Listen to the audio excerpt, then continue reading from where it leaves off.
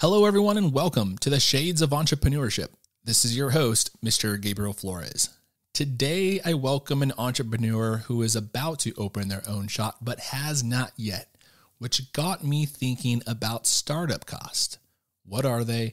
Why are they important? And why should an entrepreneur care?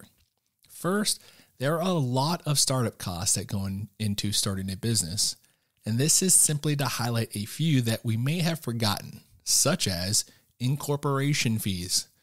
Whether you are going to start an LLC, S Corp, C Corp, or other, there are going to be some fees.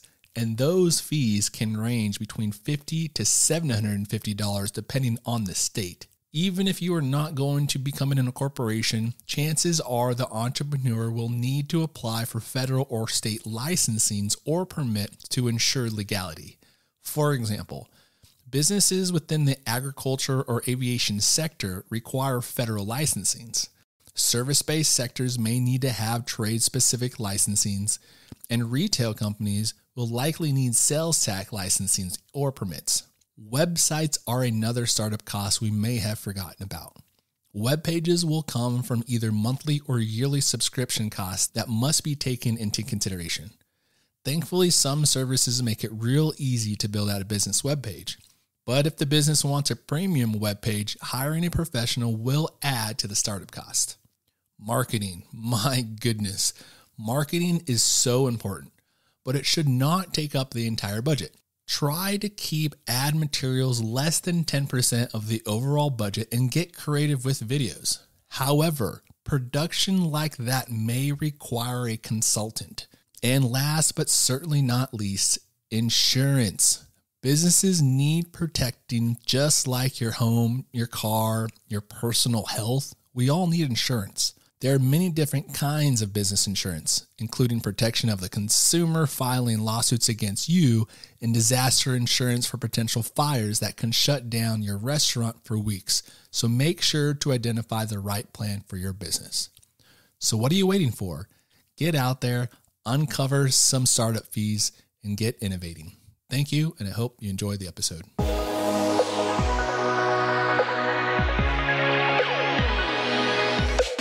Welcome to the Shades of Entrepreneurship, where we interview entrepreneurs to inspire the future entrepreneur.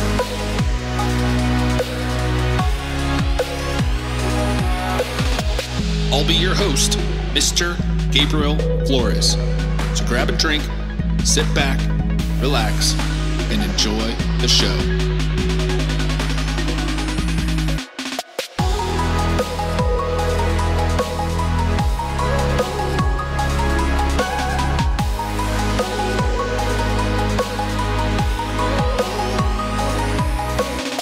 My next guest is the co-owner of Wallflower Coffee Company, coffee shop set to open in the autumn of 2021 in Portland, Oregon. He is a seasoned barista, poet, and first-time entrepreneur who was inspired with his partner Grace to create a coffee shop that promoted a sense of community. Today, I'm here with possibly a distant cousin. We are not sure yet. Joël Flores, the owner of Wallflower Coffee Company. Joël, how are you doing? I'm doing well. How are you today? Thank you so much for joining me on the show. Uh, I love coffee. Just throwing that out there. Big, big coffee drinker. So first, let's uh, introduce the listeners at home to Joël. Who is Joël? So, uh, my name is Joël, as Gabe mentioned. I've been living in Portland for the last seven years or so. Originally a Bay Area native. Go 49ers. Oh, oh, we got to cut this out. We're oh, Raider Nation no, over here, oh, buddy. no, This is oh, Raider no. Nation. We were. I know they moved. I know. I know they recently moved, but in my heart, they're always going to be Bay Area. You know? We're gonna have to cut this interview short. Um. Yeah. So I, I'm from the Bay Area, and one of those things is that I came to Portland kind of as a bit of a transplant. So I'm one of those guys that's just like. Oh, do I even belong here? Because I feel like there's like such like a nativist kind of like approach when it comes to Portland in particular. Like, and it's a city. We're different. Yeah. it, it, it's- and it's a city. It's a city, and that's in transition too as well. So, coming into the whole scene, uh, I, I, I kind of look at it from a position of like, oh, I- I'm here, I'm living here, I've been here, but I'm still kind of figuring out my ways around this town. Right. Right. So, so what? What brought you to Oregon? Uh, opportunity, really. I, I had a bit of a uh, counseling background. I uh, was also fairly religious, so I thought that I was going to go into being a clergy. I was going to go to seminary. Never happened, obviously. and uh, I just decided that, you know what, whatever happens, happens. I did get into the nonprofit sector, and it definitely had more of an emphasis of like working with people, counseling with people, uh, being a neighbor, and that that's always been my philosophy, my my my my my mo. Like, how can I be a neighbor to folks within the area, wherever I stay? And so I worked for a local nonprofit. I will probably leave their name out of the air just because. Yeah, that's fine. But I did that for a number of years in Portland, and I've always been just kind of the kind of guy that just always wants to be part of the community in some form or fashion. Nice. Now, coffee. Why? Why coffee? Coffee. Uh, so I have a bit of a connection with coffee, just for, for a myriad of reasons. Um, my dad was a coffee farmer in Honduras. Nice. Way back in the day. Nice. Uh, that was before they had to leave the country because of war and conflict and whatnot yeah. in the region, mm-hmm. which is rough. That is rough. But I've always grown up with coffee. Coffee has always been a part of my story, even in the Bay Area. Uh, as a kid, my dad would give me, I was that kid that my dad would get coffee to. Probably was not the best idea. Super hyper. Still, you know, I, I've always known coffee to be a part of my, my fabric within my story, the fabric within my story. How would I that's kind of a weird way of phrasing it, but you know what I mean. yeah, like this is, it's the fabric of my story, yeah. essentially. Uh, I, my real coffee experience was actually just outside of Sacramento, California. Uh, okay. Uh, there was this like little nonprofit coffee shop, so I think that's where the nonprofit kind of like plays into it because it was very much a community coffee shop. Yeah, and it was kind of the hub where neighbors would meet, hang out, people got to know each other. So I've always associated coffee with being around at the table, whether it was with my dad or whether it was with the neighbor just across the street uh, coffee has always been a part of this idea of like being intentionally present with folks, and so yeah. that's that's part of the reason why I'm into, why I'm getting into coffee now. And so, wallflower is there any type of particular meaning behind it? So, um, I'm glad that you asked. Um, that name is actually kind of inspired by our love for 60s and 70s music. Nice. Uh, we All weren't right. originally Wallflower Coffee Company. Um, there was a song that we were going to go with um, called Sundown. So we were going to be Sundown Coffee Company what we didn't really really realize was that sundown has a bit of a, a bit of an, a, racist connotation oh, in the state of Oregon, and so that was a whole kind of like, oh shoot, like we need to change, we need to kind of like dial back a little bit on the name. Um, what what was originally intended to be good ended up just being kind of problematic, and we didn't realize that until one of our neighbors came up and they were like. Hey, by the way, sundown cities, sundown towns. Not saying that that's your coffee shop, right. but some some people might you know look into that and might read into that and like realize like that's probably not the best name, especially in a state like Oregon.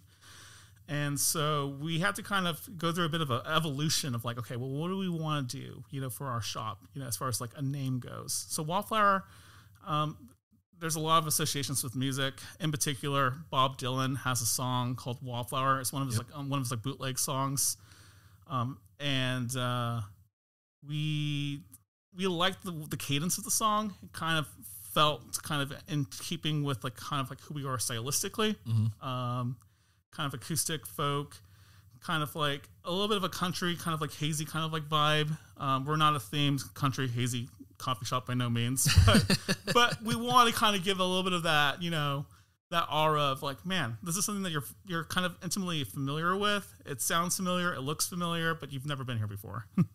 and so, what your dad previously worked in the coffee field. Yes. What all goes into coffee? Because I think I know I drink it every day. Sure. I don't know if I really know what goes into the coffee. Like what goes into producing it. How does it get into my cup?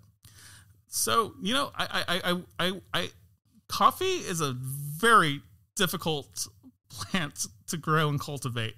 Last I checked, uh, and I will be honest with you, I am not the expert on it. I wish my dad was here because he yeah. can like tell you verbatim, just like this is the process. But yeah. it takes years. It takes years to actually have like an actual good harvest and planting the trees. You know, well, the coffee trees are bushes. There's always a debate about that, I guess. is it a bush? Is it a tree? Yes, yes, maybe. It, it, it gives coffee beans. Like yeah. it's producing coffee beans.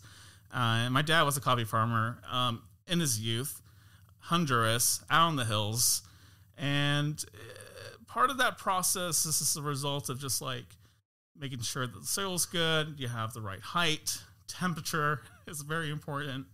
Um, and there's a lot of other things that you got to consider. So I, I think the real process is just determining like location, location, location. Like, okay, where are we're going to plant, you know, these um, these seeds, where we're going to plant these uh, coffee plants, you know, so that we can have a good product and whatnot. And um, they happen to be in a very high enough region within Honduras, right climate. I mean, it's a tropical climate, so naturally there's going to be some good coffee out there. So Yeah, that in fact, that region of the country of the entire world, it has the amazing coffee. Colombia, Chile, and Honduras. I mean, that is most of your coffee tends to come from that region. yeah, So, so with Wallflower, you know, one of the things I think that's interesting that folks at uh, home should know is you guys are just you, you haven't even opened up the store yet. right. Um, I should mention, by the way, it's both me and my business partner Grace Galatly. She's not here today. She's taking the day off. She's Nice. just relaxing. She's like, it's Labor Day. Gotta I'm gonna, take the I'm day." gonna relax. Like, I don't want to do anything. And totally understandable. I like So, it. I'm here. So, did you guys decide LLC, S corp, C corp? How what you guys? yeah, do? we decided LLC just because we are a very small operation Mm-hmm. and we're very much in the weeds of the business itself. It's just her and I. Yeah, she brings on more of the creative side of things. I bring on more of like kind of the administration, logistics side of things. And part of the reason why we wanted to be an LLC is because we want to be member managed. It's just her and I. It doesn't really make sense to be anything other than that Right. at this Right. time. We're not a chain. We're not some big corporation. We're just a small little business right. on Southeast Division and 32nd. Come find us when like we it. open. Um, and we're, making it happen. But really, it's just been her and I, and a handful of other people that have come along with us who are not necessarily part of our LLC. But you know, we, we want to be open enough in the event that there's other people that want to come along with our journey Mm-hmm. on, on that extra step of like actual ownership or partnership, rather. We want to keep that available for folks. So let's let's uh let's talk about the the process of kind of going through where you're at now because again as we mentioned you guys your location is not open yet. What goes into what you're doing? Trying to create a brand, create a company and grand opening it, getting the word out. Sure. What all does go into that? Uh, a lot. and mind you, like I don't have a business background. This is my first business. Yeah, okay, perfect. So everything that we're doing is just kind of like we're we're, we're learning as as we go. Yeah. I found out that what goes into starting a coffee shop in particular, y- you need a product first and foremost. Yeah. Uh, we had to decide whether or not we want to just be solely just a cafe, so we're just using other people's beans, which which is not an issue, or did we want to like create our own product, roast our own product? We're currently working through a private label company, so it's a third party that's uh, roasting our coffee, and we've been working with them, but it's under our branding. It's under kind of like our you know specifics of what we want within our coffee. And so developing the product has been really the focus of the last year. Mm. And we definitely want to cater to the fact that coffee is not something that you just have around the clock. Uh, Coffee comes around seasonally, depending on what part of the world you're in. So, this previous season, this last this summer season, we have a Colombia, we have an Ethiopia.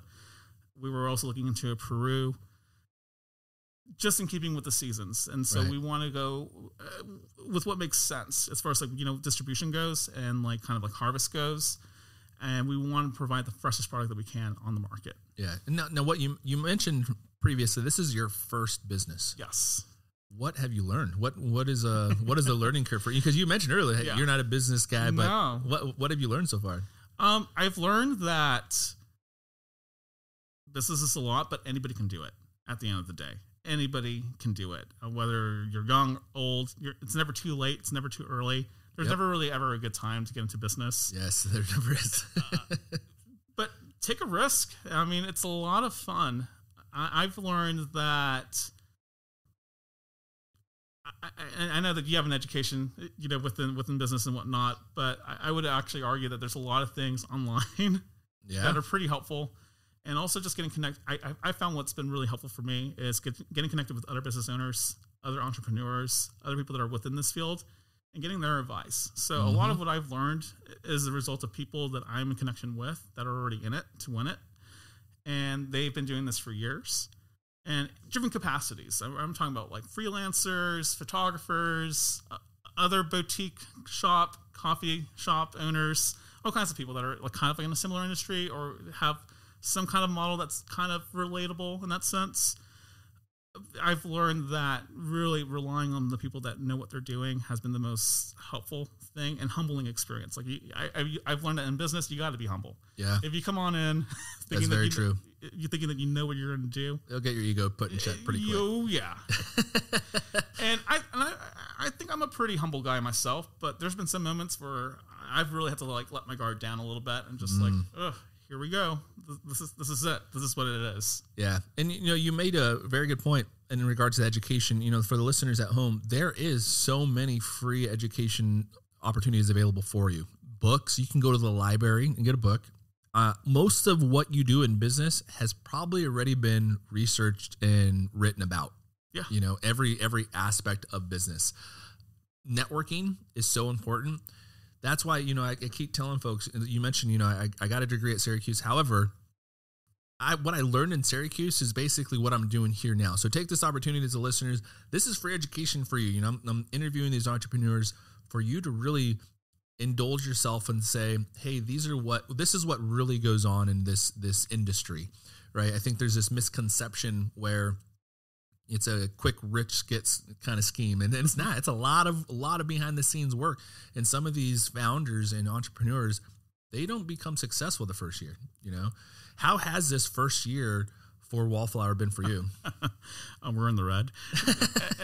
Especially if you're opening up a coffee shop. Let's just be honest coffee is really oversaturated especially in portland anywhere on the west coast really any major city has a plethora of coffee shops and coffee roasteries that you can go to, and they're all great. I highly recommend them all.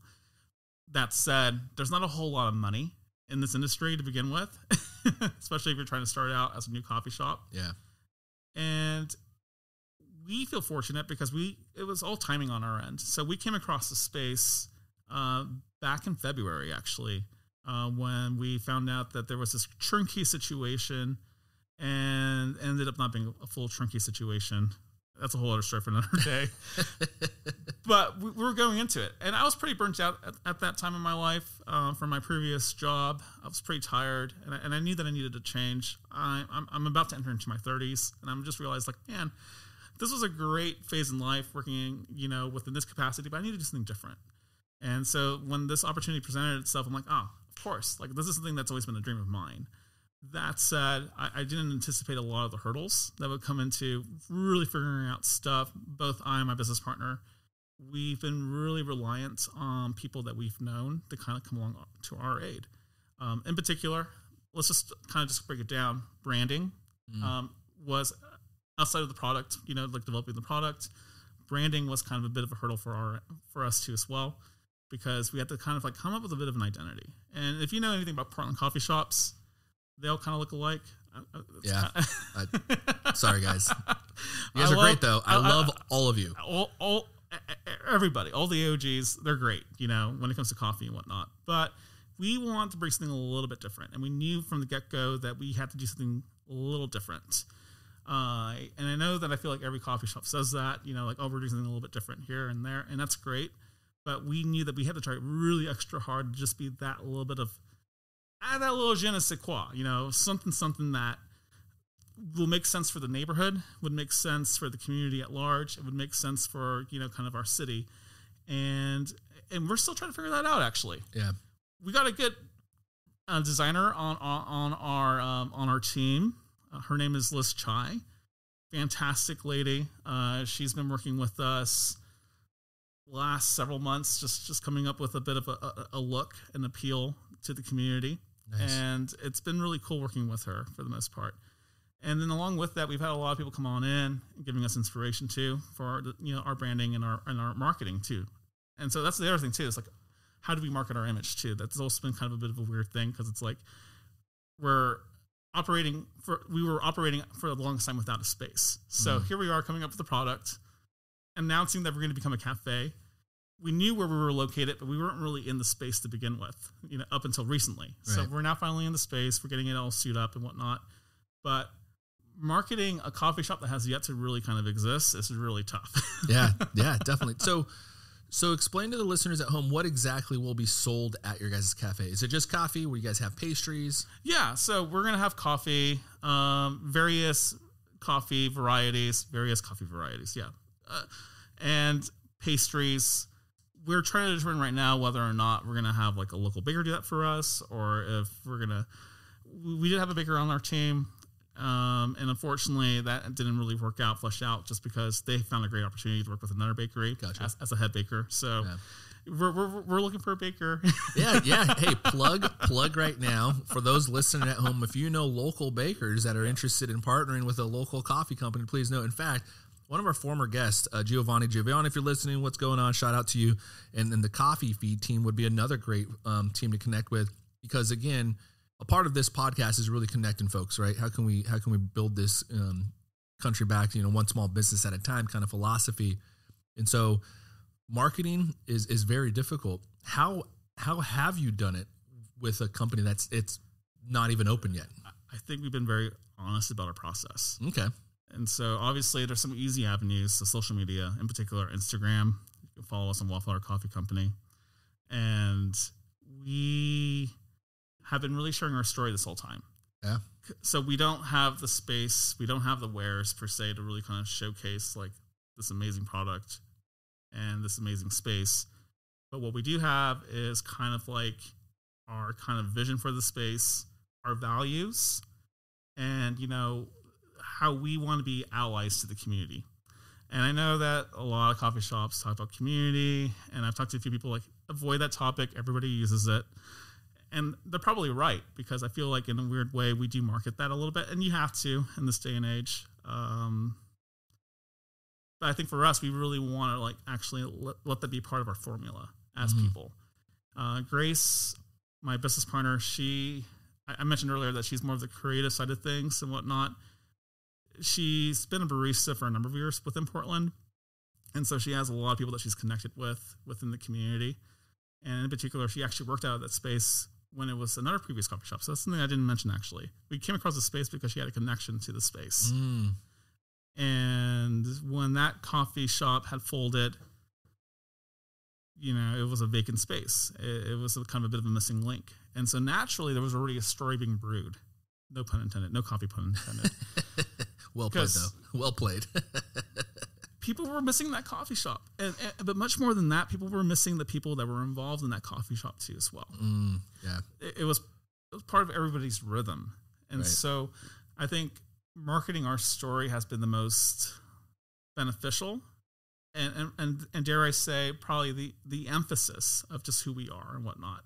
How we're trying to bring back a space that is not just another coffee shop, but rather you know we're there for our neighbors, Yeah. and, and, and a lot of that has been based out of our own story and our connection with our friends and our neighbors in, Nice. in the neighborhood. So how have how did you guys start the business with funding? Did you guys go the venture capital route, grassroots effort? Um, a little bit of both. So initially, we wanted to, you know, do the whole Kickstarter thing because we definitely had no money. Like I was a nonprofit, she was a, a barista, and so you know we're, we're, we're, we're two young kids and we're just trying Yeah. to figure things out. Yeah. Next thing you know, we're like, oh shoot, here's this coffee shop. Where Where's the money going to come from?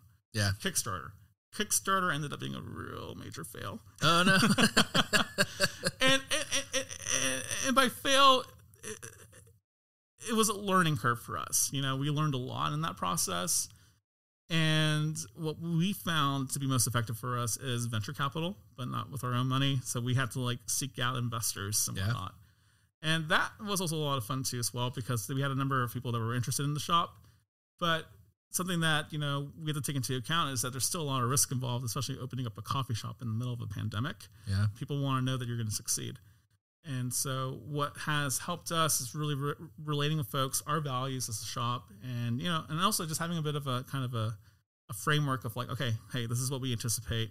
This is what you know our goals are are at. Um, this is what we expect to be making within the next five years. This is how we're going to break even, so on and so forth. And so, when we begin to have a little bit more of an understanding as far as like the the specs of the business itself, um, that put people at ease, and that's how we were able to kind of like atta- attain the investors that we have now. Um, just because of agreements and whatnot, I, I can't go online as I can't, I can't announce who they are. Right. but uh, I, I, we just to kind of give a little bit of a sneak peek into that. A lot of it has been just kind of figuring out kind of like our numbers. Like at the end of the day, we have to figure out our numbers for investors, Yep. and so that's been really helpful. What? So you mentioned, you know, this is your first business you started, right? And you mentioned some of the difficulties. What is something that you learned during this venture capital process that you didn't know about? so, uh, consumers love a good, good kind of like uh, underdog story. Yeah. Investors, uh, you gotta show them the money. yeah, they you don't just care. Gotta, you gotta show them the money. Man, that is so true. They do not care about those underdogs. Yeah. they they're there. I mean, and it's I think it's kind of important for the folks at home to know investors are really there to recoup their funds back. Yeah. It's a and it's an investment, right? They they anticipate to recoup some type of financial gains from this investment. They're not just kind of throwing out money. Now, when you had to do your pitch, what what kind of information are investors? So for the folks at home that maybe are starting a company and they've gone the Kickstarter route and it didn't work for them, what are some things that they should know have readily available? You mentioned you're going through your numbers now. Mm-hmm. How important is that? You know, for for the uh, to getting the funds from from some of these folks. Very important. I, I can't emphasize that enough. I would say that, as you mentioned earlier, like people want a return on their investment and then some. And so we want to make sure that anything that we're doing is calculated. And and, and people always worry when I say calculated, it's like, wait, you mean you have to have like an exact like like no, like have an estimate as far as like when you can like pay back that investment, you know, make it worth their while in the process. Mm-hmm. Things are going to shift, and I think you know, I think most investors are willing to take a risk. I mean, just the fact that there are people that are willing to throw money down already tells you everything that you need to know about that investor. Yeah. They're, they're probably probably have already been in the business, have already have had some kind of familiarity with the market. And so, you know, if they see value in this, and, and, and as long as you have a good business plan, Yeah. slash hire a person to do your business plan if you can do it, and you know, go from there. Uh, I would say that as long as you sound like you know what you're talking about because you did your research, and even if you're not business savvy like me, because I'm, I'm definitely not the most savviest guy in business, but take the time, take the time to really read into it, study up on it, hire someone to help you with your business proposal. We didn't do that. We actually went online and studied up what goes into a good business proposal. I wish I did that from the get go. oh my gosh, I wish we did that. But needless to say, uh, I, I would definitely advise that. And so that way, when you know you come across an investor, because there's been some opportunities where it was really off the cuff. I'm at a bar hanging out. Next thing you know, oh, you're opening up a coffee shop, and those instant connections can either mean a it's a great networking opportunity with somebody that's interested in partnering with you, or b it might be your next investor that kind of that's kind of what happened with us uh, actually so You know, that's that's an important piece, and this is something I've talked about so often on the show is the networking. How important is networking? uh, extremely I, I i i know that i mentioned that it was just my business partner and i but we wouldn't be doing this thing if it wasn't for the help of people that just come that literally just out of out of the blue we're like hey i got this expertise i got this kind of like business let's kind of shake hands on this i Yeah. scratch your back you scratch my back type Yeah. of thing and and that's how we're staying afloat right now we're in the red but we're staying afloat i know it's kind of a bit of a paradox but but we're doing all right Has there been a moment during this process of self doubt? Absolutely. I would say back in March. March was a really tough season because I had actually put in my resignation at my previous work. Mm, And so that's when I kind of knew like, oh man, this is it. We're this is doing it. We're going Yeah. we're going full, you know, into the situation. And early on in the game, there was still a lot of unknowns. We're still in negotiations negotiations with the space, and I knew that we didn't have the capital right off the bat. So I was really concerned about that. I was also really concerned about the fact that, you know, that communication was taking a little bit forever too, uh, with a number of like different like third parties that were involved in this space. So there was a lot of doubt. There was a lot of concerns, and and, and I realized that I had to kind of shift my mindset. I, I began to realize that wait, we're in the early stages. Like if I'm doubting right now, that's uh, it's okay to have a little bit of healthy doubt, but you have to do the work of exploring. Okay, well, where is this coming from, and what can I do to kind of like remedy the situation? Why am I feeling these doubts? And so I spent a good month and a half just kind of just writing down like, oh, man, like what are my major concerns, and how can I really help myself to kind of like launch myself into something that is uncomfortable. Yeah, and that's that's a great learning opportunity for those folks at home too. It's like we all have moments of self doubt. Overcoming that self doubt some sometimes be difficult. Yeah. Right. And having a plan in place, like you sound like you had, to overcome those self doubt moments is is so important because sometimes it's it's kind of you by yourself digging yourself out of that thing, Yeah. which is unfortunate. But uh, it, it really is. Now looking back on everything, you know, from from moving, you know, from the from your dad's fields, what would you what advice would you give yourself, a younger Joël? a younger Joël, I would say don't sweat about it. You know, honestly, I know it sounds really just like you know cheesy. Don't sweat about it, but life will always like present things that you're completely like that, that are completely out of your control at the end of the day. Yeah. The worst thing that you can do is stay frozen in fear and anxiety and not do anything about it. The best thing you can do is feel all the anxiety, all the fear, and still kind of chip away at it. Do something about it. And and literally rely on folks that are there to support you. And that's that's been my saving grace, if you will, uh, of just like leaning on people. There's some days where I'm just like, shit, I don't know what I'm doing. Yeah. And I still got to push forward. I still got to move forward. And that that's I I think you can't really learn that. And and I feel like I've been told that growing up. Even my parents, my uncles, they're all business people. it was inevitable, you know.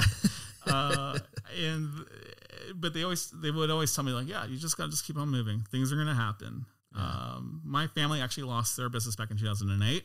Um, we were a family of contractors. We worked on like local construction Mm. and around Northern California. And 2008 was a bad year for a lot of folks, uh, our, uh, and for my folks included. And you know, I, I learned a lot from them. I, I learned a lot from just like learning how to pivot. Yeah. Pivoting is my favorite word now. Like when things happen, you just got to pivot, and and and that's where you can't sweat about it because it's out of your control. But doesn't mean it has to be an end.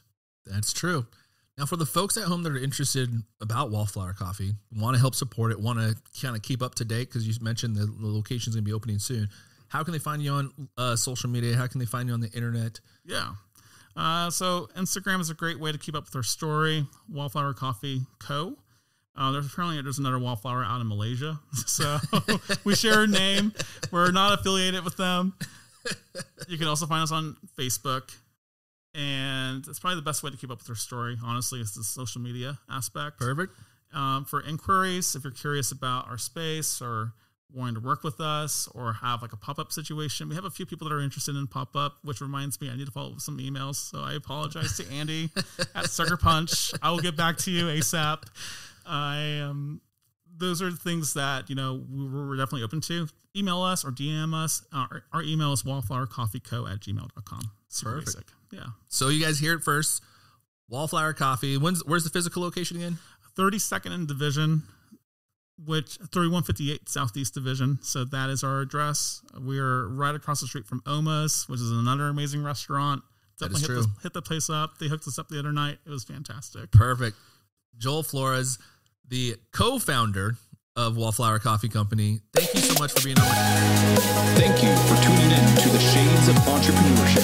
For more information, please follow the Shades of E on Twitter, Instagram, Facebook, or visit theshadesofE.com.